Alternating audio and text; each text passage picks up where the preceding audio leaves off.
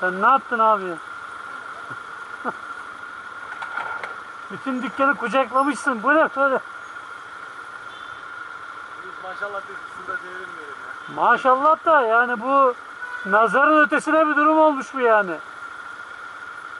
Allah muhafaza ya. İşte ben şimdi sürekli yüklerim böyle. Bir kere yine yükledim böyle. Dükkanın önünde de komşular duruyor. Niye böyle ya falan bir konuştular abi tamam mı? 100 metre ileri gittim gitmedim. Yani şu- olay şundan değil de nazardan mı diyorsun sen? Eyvallah.